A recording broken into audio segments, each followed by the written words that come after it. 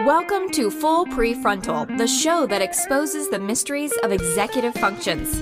This show is a collection of conversations about the role of the prefrontal cortex, which impacts your focus, planning, problem solving, emotional balance, and independence.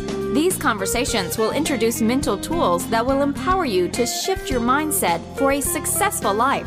And now, here's your host, Sucheta Kamath.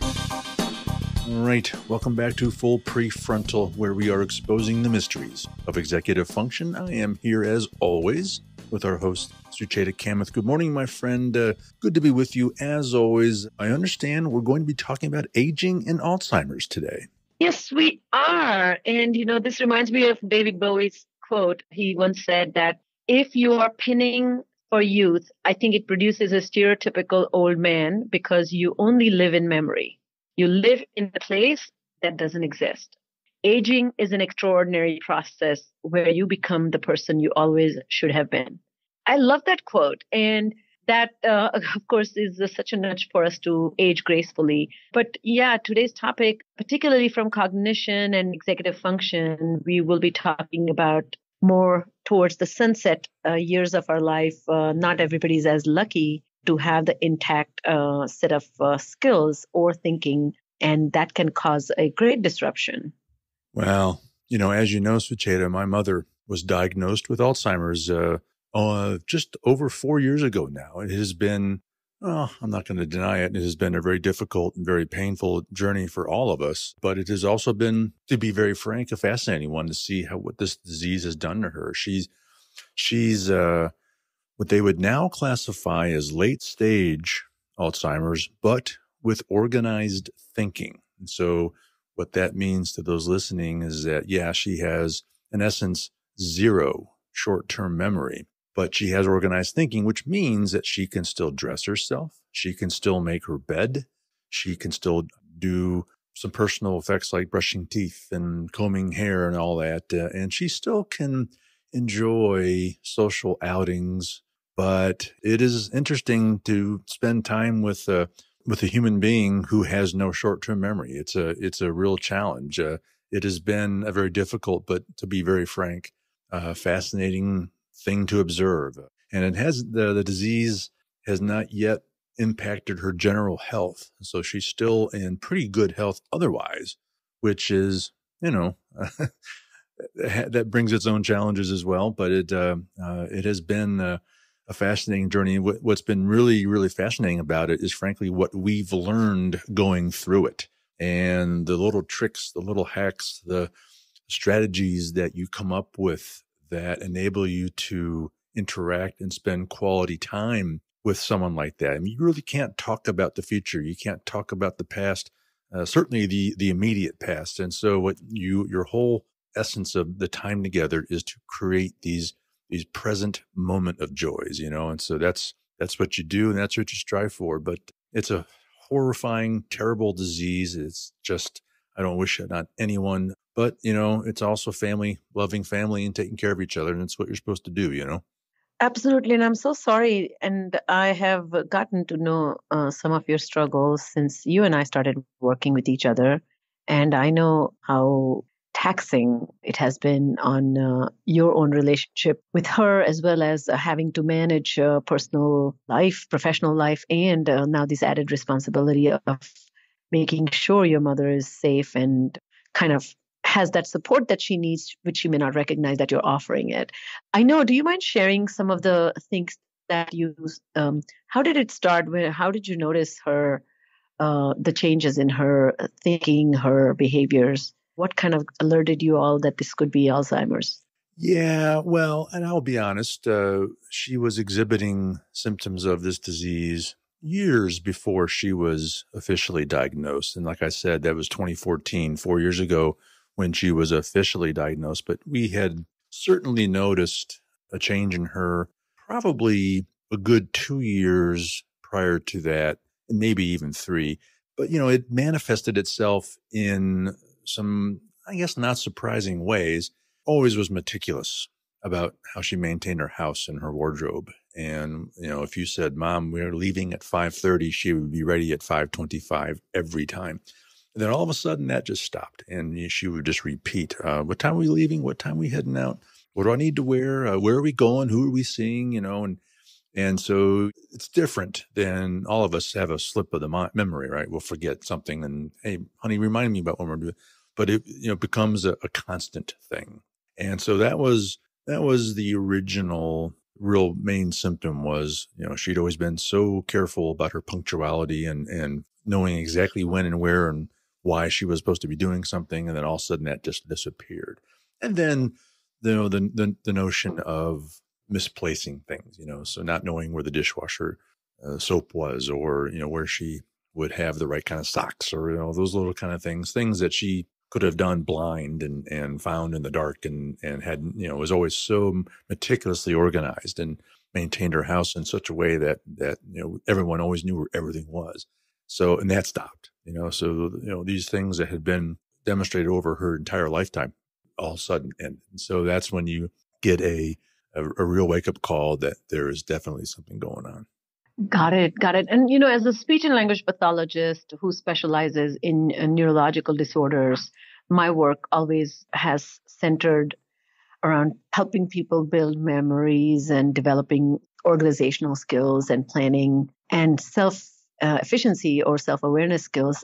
Last several years, I have stopped working with uh, people with dementia or any type of memory related problems with aging, but I have done a lot of work in my earlier career, uh, or rather at the start of my career. But when I do see clients with age related memory challenges, a lot of them come to me because they have had a head injury. So recently I saw a woman, she was kind of young, uh, she was only 59 and she was um, had climbed on uh, this drop down ladder from the attic uh, to get something and she fell backwards and hit an empty aquarium, home mm. aquarium that she had. And she hit her head, the back of the head. And of course, uh, you know, the aquarium broke her fall. And that kind of got her to the uh, hospital, to the then neurologist. And eventually she landed in my office uh, for attention, memory, and executive function problems. But as I started working with her, a lot of uh, my um, my assessment was that she's not showing typical memory problems. They were looking like something uh, she's having significant memory. Like she once, what became very evident to me one day, she called me and she said, I am trying to get to you. How do I get to you? So I said, Oh, I'll text you your, my address. And did you lose my address? And she said, No, no, no. I am on my way to get to you. How do I get to you? And mm-hmm. I couldn't understand that question. What was she trying to say? And yeah so I said, Where are you? So she said, I'm in the parking lot. And so I said, Oh, oh what parking lot? And she she said, Store, store parking lot. So I said, Which store? So that was so not, you know, that's very abnormal or an unusual yeah. way of describing post head injury kind of thing. So basically, she for a moment had lost bearing of where she was in space and time she couldn't figure out that she was in the Target parking lot, which was in Roswell, and she needed to come to Buckhead area and she needed to take uh, 400 and then take this exit. She kind of lost the bearing where she was. Anyway, that was the kind of thing I said that's extremely unusual. And then I started discussing more about her daily routines. And one of the things that was helping her not be detected or nobody getting suspicious, but she was extremely organized and she had systems and she was not doing a lot of new things. So anyways, I think this is a, a um, such an important topic, and I know this is a, a veering a little bit into uh, more than just executive function, but I do think that a lot of uh, ways that people with uh, who are helping people manage uh, family members require this understanding, and that's why I thought it would be great for us to talk about this guest I have today. He's a very special friend and expert, and I'm so excited. So let me tell you a little bit about him. Today we have Dr. Kenneth Kosik. He has served as a professor at the Harvard Medical School from 1996 till 2004. That's where I met him. And when he became the Harriman Professor and co director of the Neuroscience Research Center Institute at the University of California in Santa Barbara. He has been, received multiple, multiple awards. I'm going to list a few, such as Whitaker Health uh, Science Award from MIT, Milton Foundation Award from Harvard Medical School, Moore Award from American Association of Neuropathologists, Metropolitan Life Award, Denny Brown Award for, from American Neurological Associations, and so on and so on. As you can see, he has a prolific career and incredibly celebrated uh, individual who has made a lot of contributions. He has co authored two important books. One is called Outsmarting Alzheimer's Disease, and second is called The Alzheimer's Solution. How Today's Care is uh, failing millions and how can we do better? And that we will be talking a lot about what to do in our next segment and i will be referring to that book. It's a great book. Everybody should have it. His work including characterization in colombia of the largest family in the world with familial alzheimer's has appeared in new york times wall street journal in the new yorker it has been also uh, referenced to on bbc cnn pbs and even cbs 60 minutes. His 2016 UC uh, SB com- you know commencement address was archived at the Graduation Wisdom Best Commencement Speeches website. And um, i really recommend everybody should listen to him. He's extremely inspirational and it's uh, my honor to have him with us today well sucheta i learned something from every one of your conversations but goes without saying i'm particularly looking forward to your conversation with dr kosik so let's get to it here is Sucheta's first of two conversations with Dr. Ken Kosik. Welcome to the podcast, Ken, and I hope you don't mind me calling you Ken instead of Dr. Kosik. I uh-huh. have had the privilege of knowing you and having seen you present and, and have had many banters with you. So I'm very excited to have you here. Thank you so much. Happy to be here let's dive into uh, your expertise. You know, we all know we are heading towards old age, and yet we hardly think about it. Or maybe the truth is that we will be paralyzed if we think too much about it. But the fear of losing uh, one's mental faculty can be a great concern to everyone. So, for starters, do you mind walking us through the difference between brain farts, as I like to call them, uh, versus, uh, related to old age versus dementia and Alzheimer's disease? Sure. So, the individuals as as we get older, we all have some decline in our mental function. It's really uh, kind of a slowing a little bit. It's not always necessarily decrease in intelligence or problem solving. In fact, some things like problem solving actually get better as we age. And it is really um, very common as we age to develop some retrieval problems, some difficulties in retrieving names, for instance, and memories are not always as accessible, whether they're short term memories or long term, but mostly short term.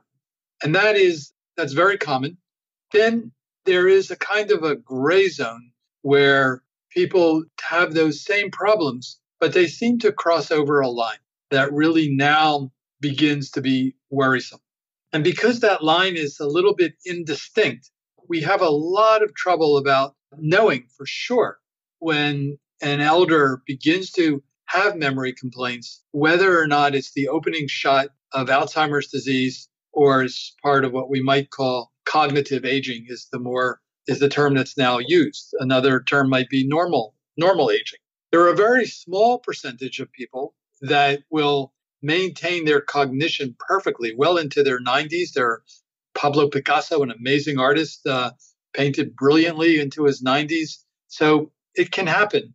But this small amount of decline is incredibly common, number one. It would be very nice to be able to give that a boost. And number two is we want to be really, really increasingly vigilant as to detecting when a person is likely to go over the line and begin to step into an Alzheimer trajectory. Now, when we start to use the term Alzheimer's, a person is already fairly far along. They really have rather frank symptoms. You can um, talk to the person, and you would very quickly know that um, there is probably something happening here. It wouldn't take very long.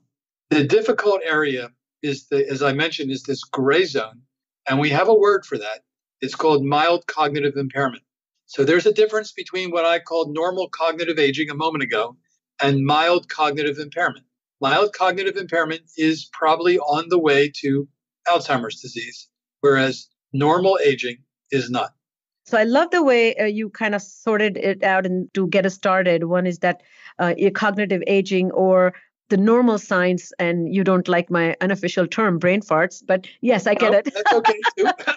just because I didn't use it. no, I'm just teasing. And I think if you don't mind talking a little bit about the difference between the, like I think two distinct things stand out for me from my cognitive rehabilitation work and training that I do that this slowing, uh, you know, cognitive slowing, there's a processing speed that kind of reduces. And second thing is, as you mentioned, the retrieval in memory, you know, that normal aging is quite, you know, we go to a party and my husband is nudging me already saying that, who's that now? You know, what's his name or what's his wife's name? Those kinds of things. And I'm almost like his a name bank. You know, he refers to me to find out relational or some details. And, and so that part I feel versus the short term memory developing or managing short term memory. Could you talk a little bit about the distinction between the two? How does that normal person understand it? Does those who don't understand neuroscience much? Yeah. Well, these are often clinical types of decisions that may not require a deep understanding of um, neuroscience, but really more of a very astute clinician. You know, with regard to you're going to a party and um, your husband asking you, the, there is data that says that memory can be served in a very positive way with a long marriage. And maybe that has something to do with the fact that um, couples um, now can double their memory bank by uh, asking each other things that one alone would have forgotten. But I think um, we can be very descriptive and uh, say there are these retrieval problems, there are, there are these issues, and I think that's useful. One, I'm not sure I'm actually answering your question perfectly because you know we do want to put metrics on this, and there are a lot of neuropsychological tests that can be done. If a person's worried, they should see a neuropsychologist, and they can put numbers on it. And if they're not going to get a clear answer with one visit, they can wait six months, do it again, and see if it stayed steady then you have nothing to worry about. Or if it's Got begun it. to decline, then you have something to worry about. But I think what you were I, maybe what you were getting at is is that because when people get older and that that are not on the path to Alzheimer's, they would still really like to have a boost in their memory. I mean, this is something we all we all want. So that is a very tricky problem because there's no fountain of youth that we're aware of. How can we really uh, best enhance people who have this normal cognitive aging issue. And I think that we'll get to that when we start talking about therapies, but I want to identify that issue as being out there. I'll say one more thing in this vein, and that is that um, when in my clinics over the years, when I see individuals uh, come in worried about memory complaints, I would say maybe as many as half of them, I'm able to reassure them and tell them, I don't think it's Alzheimer's because this, number one, we're all worried about Alzheimer's. Number two, cognitive aging is a real thing. People come in worried. It's nice to get reassurance from a doctor, but it still doesn't solve the fact that they can't retrieve a name in a party. Yes, that's great. So, well, can you then define uh, is dementia same as Alzheimer's disease? And what is the definition of Alzheimer's disease? So, dementia is not the same as Alzheimer's disease. The Alzheimer's disease is a type of dementia. Dementia simply means that there's an impairment in cognition. You have not just trouble with memory, but there is also trouble in other cognitive spheres, such as calculations, executive function, many things that we can begin to itemize. Another sphere that is often affected in dementia, and particularly in Alzheimer's, but in many different types of dementia, is personality. So we have the cognitive domain and we have more of an emotional personality domain. They both uh, tend to get affected. So as I so just so now to go back, there are many types of dementia. There are just it's a long a long list. When you see a neurologist, because you may be concerned about it, the job of the neurologist is to figure out what type of dementia you have, assuming there is a cognitive impairment. And if the neurologist then comes to the conclusion it's Alzheimer's, they're looking for the following things. One, very slow, inexorable course in which there has been progression of impairment over years, not over weeks or even months. This is a slowly progressive disease. You know, I've had several examples where someone will come into the clinic and say, Oh, you know, my father went off to the grocery store and uh, he got lost, couldn't find his way back home. And now they are concerned about the onset of a problem because the guy got lost.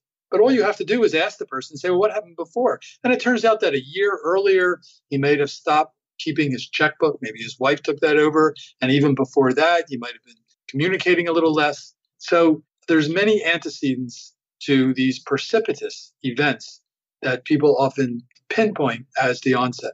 Slow, inexorable course, number one. Number two, you really want to, uh, I sort of alluded to this a little bit in my discussion of dementia, but it's particularly apropos for Alzheimer's, where you want to identify impairments in more than one cognitive domain, not just memory, as I said before, but if you can also say there's a personality problem, there's something else going on, that's important because Alzheimer's disease affects many regions of the brain. And if it's a pure memory problem, pure memory problem, it's probably not Alzheimer's. There are other conditions that cause pure memory loss. And then there's a number of tests that can be done. We might want to go into that at some point to pin it down. Say one last thing, which is, is that often Alzheimer's disease until recently has been a diagnosis of exclusion. So it's very important for the clinician to do some simple tests that rule out other possible causes of dementia. There's just a few blood tests and other scans that can be done. We can talk more about that if you like. Yes, I mean, I was going to come to that part about how do you diagnose Alzheimer's. But so let me just quickly ask you this question. So the progression is slow, hence, the person experiencing the symptoms himself may not be aware of this cognitive change or maybe chalked off as a normal aging related oopsies. And then, second, as you said, that impairments in more than one domain such as you know executive function personality and those are more evident to other people but a lot of times uh, uh many of these elderly folks are isolated or they are interacting with their peers or their spouses in isolation and it may not be evident clearly. So, do you think we should talk about the neurobiology of Alzheimer's, or do you think uh, would you like to go and talk about how to evaluate uh, for Alzheimer's? Well, we can do both. Let's uh, first just say a word about the neurobiology.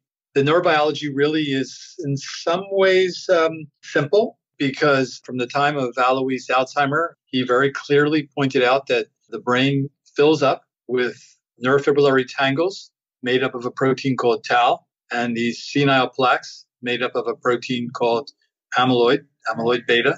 They are uh, pathological entities that are that accumulate in the brain. The tau protein accumulates inside neurons to make these tangles and ultimately strangles them, and then the cells die.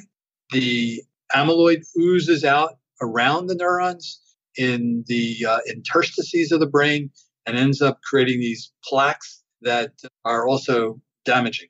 And those are the two entities that were the classic hallmarks. They're easy to see under a microscope. Until recently, they've been impossible to see in a living individual. So this does go neatly into your question about evaluation because now, and when I say now, I mean really only in the last couple of years, we can actually image these two classical hallmarks directly in a living person. These are called PET scans, one PET amyloid, the other PET tau, that allow us to see that pathology and make diagnoses in, um, in the living individual if there's some question. And is it uh, recommended? Is it essential, or is it more important and relevant in a, a person who is younger than typical age of uh, onset uh, for Alzheimer's? Yeah, very, very good question. So these tests are actually not recommended, not because they're dangerous or anything like that. They are expensive. And the, because there would be no treatment implication at this time if your test is positive or negative, they're not widely recommended. They are recommended if one is in doing research. If you're trying out a drug and you want to see if that drug is actually affecting the stigmata of Alzheimer's disease, the plaques and tangles, then it's mandatory. Then you have to do it. So these tests are important to validate drugs, number one. And then number two is exactly what you said. Sometimes we have cases that it's really unclear. They're, they're so young. Why are they getting a disease that looks like Alzheimer's? So if we're perplexed clinically, that would be another reason to order these tests. What's the age range when somebody gets diagnosed with Alzheimer's, and when is it too young to be having Alzheimer's? Well, as you probably know, there are genetic forms of Alzheimer's disease where people have gotten it as young as in their 20s. That is um, remarkably young. Yeah.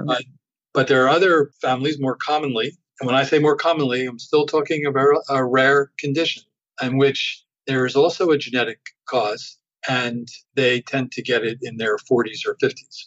Let me say a word to sort of unpack that a little bit, because the genetics is something that um, it's important to understand in this in this modern world where genetics is available to all of us. You just you know send away your saliva or your blood, and you get your genes back from various companies.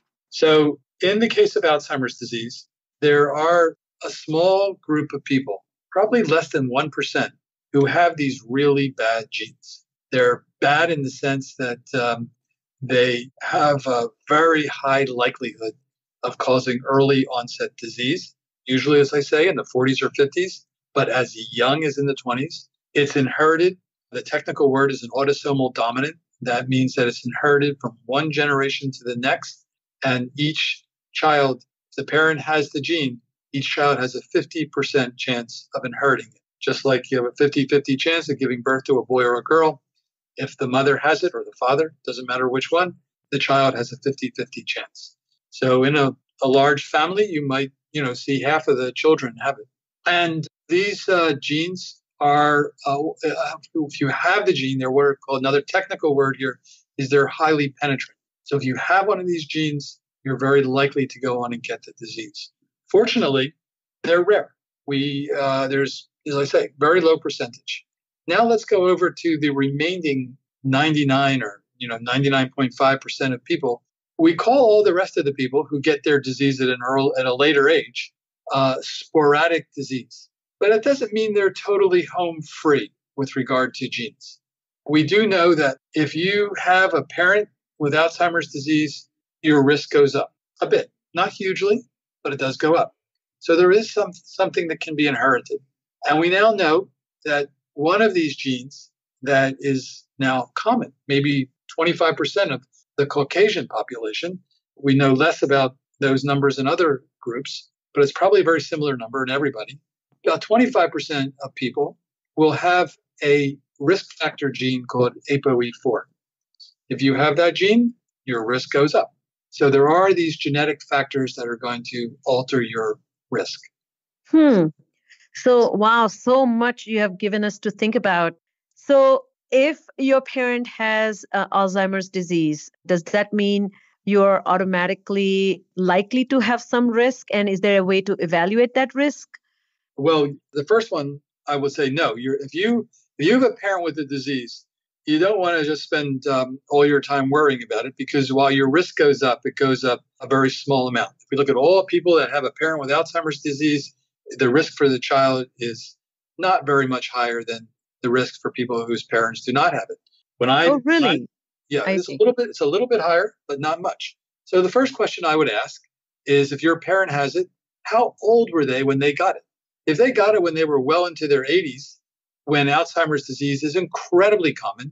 You know, something like 40% of the population has Alzheimer's disease once uh, among a group that's 85 years or older.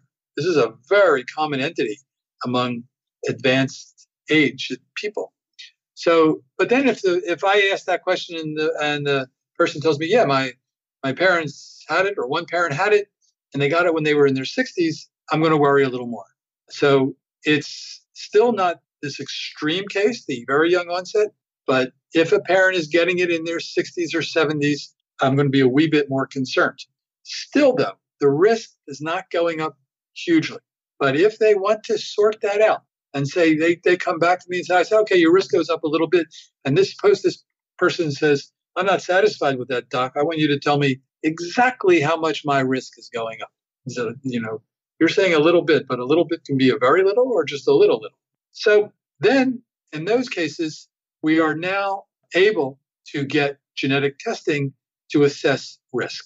And one test would be for this ApoE gene, uh, ApoE4, and we could then tell the person that, yeah, if you have that gene, you're, we can give you a number. We can tell you exactly how much your risk is going to go up if you have that gene. So, is it worth the uh, if um, you were the person, would you recommend yourself to go and get tested if you have that? Is that going to uh, offer the relief that one is looking for by getting this assessment done? That is the question of the day because we really we really want th- this whole question of disclosure and what people may want to know, uh, how they're going to use that information. This is the cutting edge question right now in genetics because these genetic tests, you know, I told you one gene, ApoE4, but there are a few others. And there and and so how much you want to know about your fate in life is a very personal matter that we all have to think very carefully about. A person goes in and wants to have genetic testing for an incurable disease like Alzheimer's, it, they must have, according to the guidelines, they must have some genetic counseling. They must have a companion with them when they get the news. And because these are very weighty matters, they don't just affect the person who's getting the test, but it also affects their children. So it's a very important uh, question you're raising. Oh my goodness, you're giving me so much to think about. So now that you talked about genetics, can you talk a little bit about non-genetic factors such as person with multiple concussions or person who has not uh, received high education? Does that impact their chances of getting Alzheimer's in their old age? We don't have a super clear answer on your question about multiple concussions. And I'll come back to that second. First, let me answer your question about education, where the answer is a little bit more clear. We have very good statistical epidemiological evidence that people with high levels of education are relatively protected from Alzheimer's disease. What we've come to learn is that that protection doesn't mean they're not going to get deep in their brains the plaques and tangles. They'll get it like everybody else. But because of their education, they're a little bit more resilient to showing the clinical signs, the memory loss. Over the years, due to their education, they've developed more connections in their brain, more synapses. Uh, they ha- can retrieve information in multiple different ways. They may be able to identify a bird, say, not just by its look, but by its song. And these ways, these different routes that you have to memory uh, tend to be a little richer, perhaps, in someone who is um, who I would say is educated for sure, but education doesn't just mean formal education. It means people that have kept their minds active, even if they don't have a whole stack of degrees. Now, the so bottom line, education can stave off the symptoms, but not the underlying pathogenesis. Now, for your question on concussions, here's where it's more murky. We have pretty good evidence now that repeated head trauma, even if that head trauma is not a frank concussion, uh, repeated head trauma can lead to a kind of dementing illness, but we are still unclear whether or not that illness is strictly Alzheimer's disease, because we also know there are other entities that multiple concussions lead to, perhaps more commonly than Alzheimer's. So just to rephrase that, multiple concussions may increase your chances of getting Alzheimer's disease, but more prominently, it increases your chances of getting another type of dementing illness that goes by the name of chronic traumatic encephalopathy or CTE. This has been um, you know a very popular topic lately because so many football players have come down with this condition. Got it. So is eh, Alzheimer's disease more common than all collective types of dementia? Yes, we can clearly say that the most common form of dementia is Alzheimer's disease. And then is the the chronic traumatic encephalopathy does that affect equally or more than uh, typical dementia and less than Alzheimer's or do we have any understanding of that? We don't have good epidemiologic evidence for how prevalent the chronic traumatic encephalopathy is. I don't think it's uh, possible. It's, it's, I'm sure it's not as common as Alzheimer's, but how common it actually is is not known. Got it. So, as we come to close up this discussion, can you talk a little bit about executive function and aging, as well as executive function and and uh, Alzheimer's disease? Because typically people uh, think about memory as a standalone feature or forgetfulness, but it's also uh, that disconnection between past and present, which helps us formulate uh, ideas about the future that becomes a huge problem for people with these progressive degenerative problems. So, do you mind talking about that? Of course, those are very intriguing ideas. The um, the idea about the, the use and the purpose, perhaps, uh, if we can use such a strong word, of um, memory is not so much to help us recollect the past, but to plan for the future. And when you think about memory in that way, that it's a tool for the future, not necessarily for the recreating the past. There's really no necessity for memory to be completely accurate. The only uh, people that really expect an answer to you know questions like you know, what were you doing on May 5th, 2016, we don't have that kind of memory. And the only people that expect an answer to questions like that are attorneys. We really don't have memories that are you know video recorders. Our memories are picked up in fragments, they get processed, information is missing, information can be added. And what the processing is all used for is for us to better plan for the future, to be strategic, and to be able to make accurate predictions about the future. That's all we need. Because if we have to boil down brain function to one thing, it's really about making predictions. You have to be able to know that what you're going to do next is not going to kill you. And that is critical. I love that. And that is actually the essence of executive process, which is being able to predict whether it's uh, you know trajectory of your performance, your future uh, outcomes, your your current connection to the future self. All those predictions are happening as we speak, and that's also the component of motor planning. How do we execute, right? So, as we uh, close today, you have dedicated your career uh, to this uh, studying Alzheimer's. What drew you to this topic? Because it is kind of very troubling, and you must have seen in your clinical life a lot of uh, sad stories, or you know, that have weighed on you. What do you see in this that makes you so engaged and hopeful about this? Well, I would say it's the science that drives me this is, uh, I am always moved by patients. I like to see patients, but the actual, what the reason I get up in the morning and ponder these problems is because the scientific problem here, the way it's all knotted together, the tangles and the plaques and brain function and memory and all the things we've been talking about, is a really challenging, fascinating intellectual problem that totally engages me.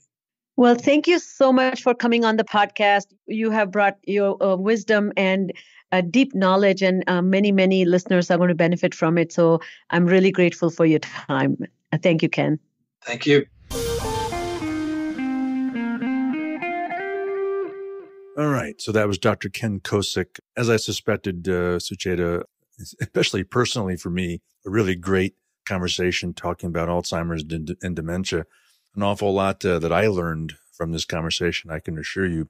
Any initial thoughts here you want to share? Yes, and such an important conversation to have.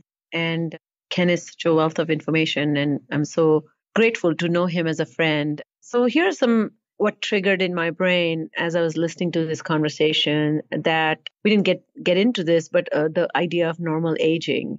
This didn't come up, but literature talks about something called crystallized intelligence, which refers to the accumulation of information or knowledge based on one's life experience. So, for example, the uh, crystallized intelligence is made up of skills and ability and knowledge that is uh, well practiced, overlearned, and very familiar. So, for example, you know, knowing the capital of a, a country when we have or vocabulary items, or knowing the meaning of the uh, words that we have learned early on and and they become crystallized they become permanent imprinted in the brain funny thing is that research shows that what's described as crystallized ability it either remains stable or it even gradually improves at the rate of 0.02 to almost 0.003 standard deviation per year through the sixth and seventh decade of decades of life. so compared to the younger adults, the older adults tend to perform better on tasks requiring intelligence that's based on knowledge or tasks that require accessing prior knowledge, and that goes into problem solving, for example. In contrast, then there is something called fluid cognitive domains, uh, which includes skills like uh, speed of processing, uh, psychomotor ability, and uh, memory, and even executive function. So it refers to skills and abilities that involve reasoning, uh, problem solving, taking decisions, kind of prioritizing. And these set of skills, they are fluid. And the reason they're referred to as fluid skills is because they are not dependent on past knowledge or prior learning. It is uh, uh, literally uh, refers to application skill. How well do you apply the knowledge that you have? So, a simple example, which is not the best example, but if you uh, want to open a can, you take a can opener and you use the can opener to open the can. What if you have a can opener that is not yours and you are, let's say, Todd, you're visiting me and I give you my can opener, by the way. You will spend extra minutes figuring out how to use that can opener. And that knowing how to open cans using a can opener is not is your prior knowledge, but how to operate this particular can opener maybe the reason your uh, processing speed may be slowed down because you're unfamiliar with the task itself. And by the way, I do have a, a, can opener which I use often in my presentations that most people take at least five extra minutes to figure out, or sometimes people give up. so, anyways, what I was saying that these uh, fluid cognitive domains reflect more the innate ability that how we process and learn information, how we maneuver our own environment, and how we solve problems that we are not familiar with.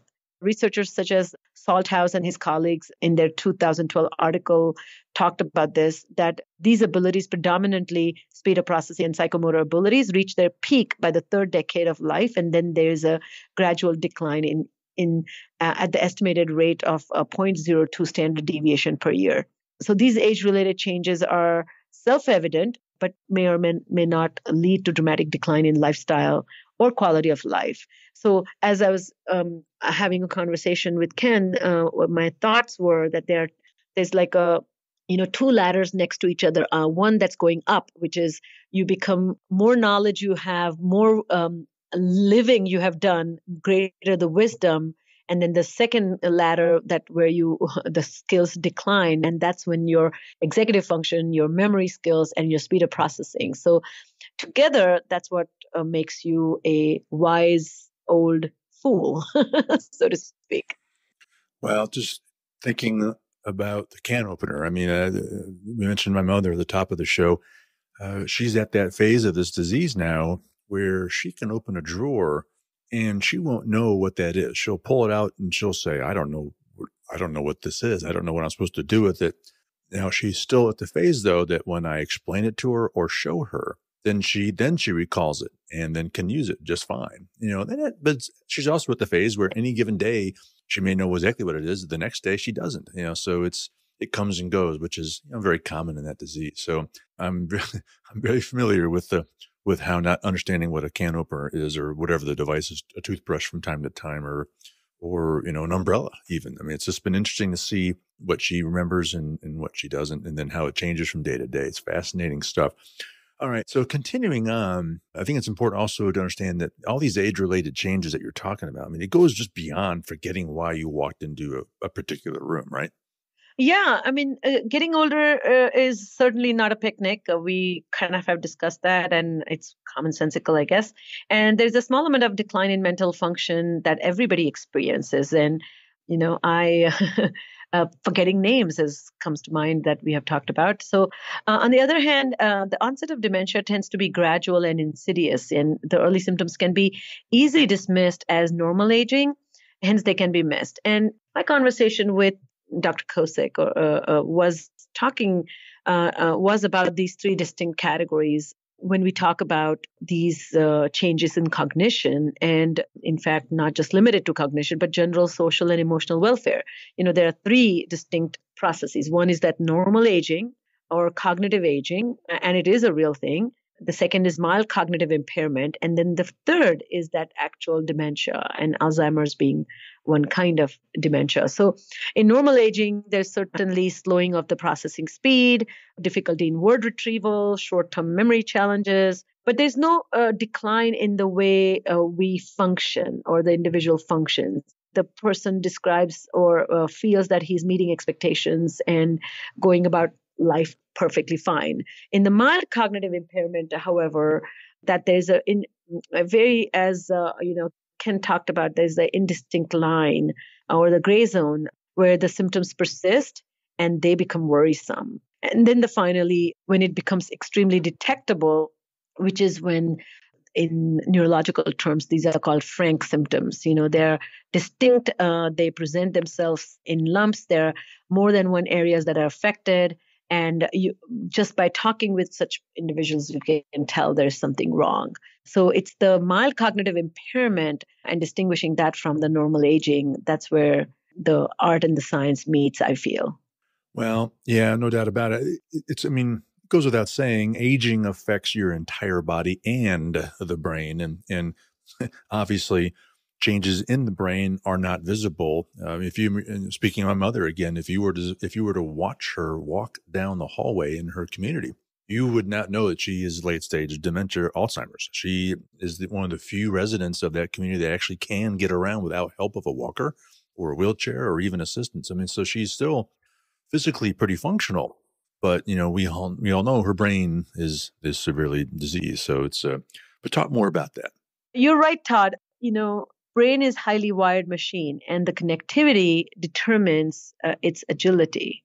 And we have a few uh, guesses as to what goes inside the brain and researchers like Ken study this. You know i remember reading in his book about as he summarized what causes the brain changes and first component being inflammation uh, which is the response of the immune system which is to send protein which in, induces swelling redness and in a short quantities and for a short term while, it's good. But a chronic state of inflammation without any respite is not that great. And then, of course, prolonged inflammation speeds up aging. And uh, the second part is the oxidization, you know, the imbalance between the oxidized particles and the antioxidants can alter the brain chemistry, causing damage. And the third thing he describes that the wear and tear that the just like the body, the brain endures that wear and tear. So, for for example, unlike the rest of the body, the damage to the neurons, which are the brain cells, that uh, damage is not reversible. You know, it's not repairable. So they don't regenerate themselves. So, so tearing or strain on these nerve cells causes a breakdown in communication between the neurons, resulting in slowing down, and it leads to forgetfulness and slowness in processing. So it's kind of important to understand that the brain actually aging um, can be detected at the brain level. and it's a funny thing about the brain, as you know, is the brain is the highly wrinkled body part. And that is one body part that you do not want to lose your wrinkles. Uh, you want to keep them. yeah, I understand that. I think it was also important that we discussed the difference between dementia and Alzheimer's. Now, Alzheimer's is a form of dementia, but they're different, right? And what was striking to me was his comment that if you live long enough, you will likely suffer from dementia, but not necessarily Alzheimer's. Uh, go deeper there. Yeah, and that was the the discussion we were uh, having, right? That I think it's the presentation of symptoms and their, how to decipher all that is such a critical part of management too. The Alzheimer's Association has it on their website that dementia is a gen, is a general term for loss of memory and other mental abilities uh, severe enough to interfere with daily life. And that's the critical part, severe enough to interfere with daily life. It is caused by physical changes in the brain. Alzheimer is the most common type of dementia, but there are many other kinds of dementia. And so the, I'm going to put a link there.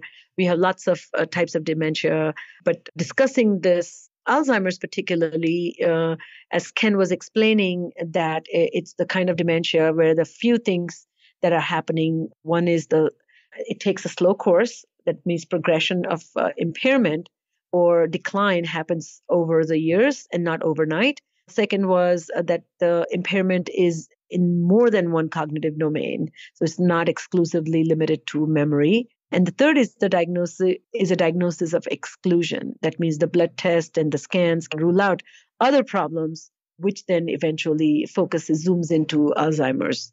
And so then there are cognitive and emotional domains where the changes appear. And so the most important thing is to not really, I guess, avoid uh, having to deal with the, the challenges that one in, one is noticing. You know, the the most important thing for me that again, you know, aren't you fascinated by our body and brain when they work well? We don't have any concerns. We become very alerted about things when they are not working. You know, when you're walking well, you don't thank your legs. But when your knees hurt, you're like, what must be the reason? You know?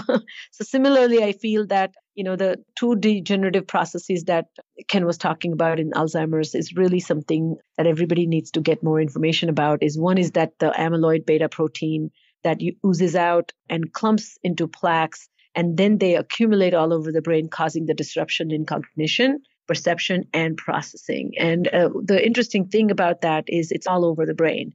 And so it's unlike a brain injury or a gunshot wound.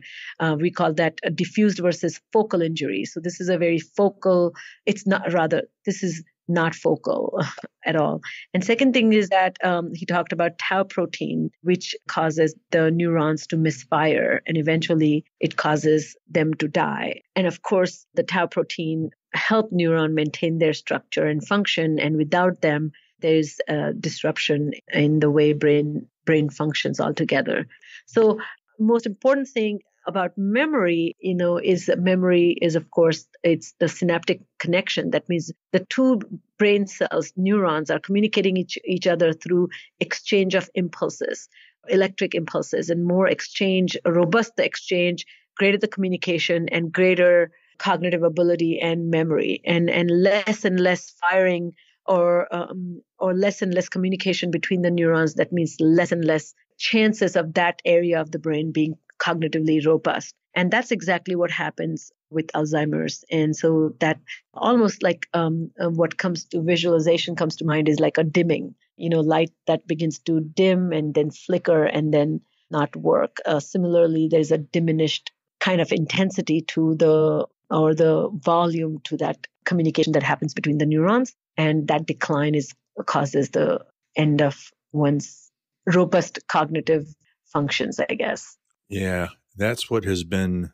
I don't want people to get the wrong idea when I say it's been fascinating to observe this because it's been it's been cruel and horrible, but it it's been an amazing process to observe because you know this dimming process is exactly what my mom's gone through. It hasn't been this slow, unnoticeable, gradual change it's like she goes through like these plateaus, right? There's these stages where she evolves into a state and then is exists that way for a while. And then there's a noticeable sudden kind of change that then lasts for another while. You know, I don't know that how her course will always be, but it's been, but dimming is a, is an interesting way to think of that. So fascinating stuff. Goodness gracious. So gosh, before we go, Sucheta, any, uh, any concluding thoughts? Yeah, you know, I've been thinking a lot about aging and age related changes. And, you know, recently there's a book that I was reading that Old Masters Great Artist in Old Age, uh, written by Thomas Dormandy. And he talks about that all the case histories point in one direction the extraordinary flowering of artistic genius in old age. So he particularly in this book talked about these incredible artists who continue to be robust in their practices and in prolific artists and produce some incredible work. You know, for example, Monet. When we think about Monet, we think about water lilies, and uh, you know this that the water lilies is not a name of a single painting, but it's rather a series of works. And Monet painted about close to 250 water lilies, and it was a subject that he kept revisiting throughout his life. when Monet turned 82, he was diagnosed with severe cataract in his right eye and a, mild one in his left eye, well, which made it impossible to see. And then Monet underwent three cataract surgeries on his right eye, which did not um, give him any relief. Uh, in fact, you know, it got his eyesight, I think, um, got worse. But he continued to work. You know, he painted water lilies during this time titled Japanese Bridge, and there's uh, you can look it up on the web. But it's dominated by reds and oranges, which is so beautiful and vibrant, which kind of invokes this sense of vibrancy. So even though he wasn't functioning at his best, he still persisted and and produced this incredible thing. And when he died in 1926, you know, the paint on his last water lily was still not dry. Um, why am I talking about this? That there's so many artists, including Monet, who continued to be wonderfully productive and wonderfully functional till the end. Michelangelo was 89 when he died. Matisse, uh, when he died at 84, was still very artistically engaged. Uh, Picasso at 91 was a prolific art producer. O'Keeffe, same thing, 98.